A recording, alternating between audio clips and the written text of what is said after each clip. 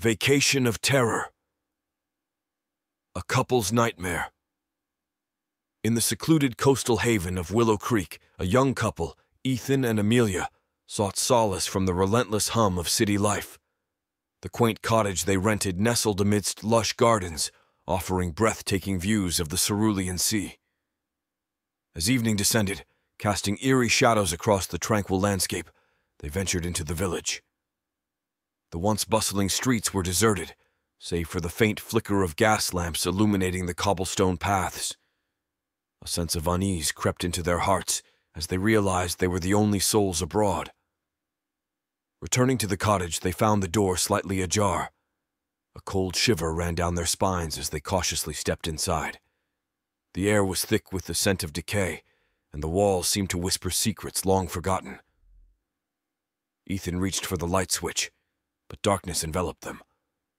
Panic surged through their veins as they frantically searched for the source of the eerie silence. Suddenly, a guttural growl echoed through the house, sending them stumbling backward in terror.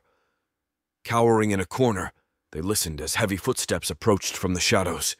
The walls creaked and groaned as if alive, their ancient secrets awakening. A cold, bony hand reached out from the darkness, its touch sending ice through their veins. Frozen with fear, Amelia screamed, her voice a desperate plea for salvation. But her cries were met with an inhuman laughter that seemed to reverberate from the very foundations of the cottage. The hand tightened its grip, its icy claws digging into the soft flesh of her arm. As darkness closed in upon them, Ethan and Amelia realized the true nature of their nightmare. They were trapped in a realm of horrors, where the boundaries between reality and madness blurred.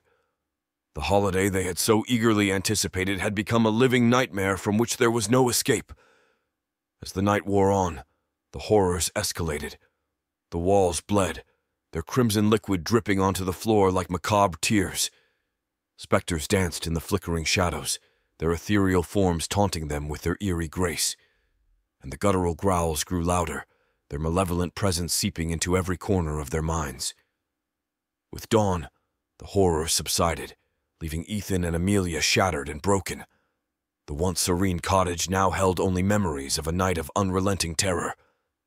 As they made their way back to civilization, their eyes bore witness to the true cost of their ill-fated holiday. The horrors they had endured would forever haunt their souls, a chilling reminder of the darkness that lurked beneath the surface of the most idyllic of places. And so, the tale of Ethan and Amelia's cursed holiday became a cautionary legend whispered among travelers and locals alike, a testament to the unspeakable horrors that could befall those who ventured into the realm of the unknown.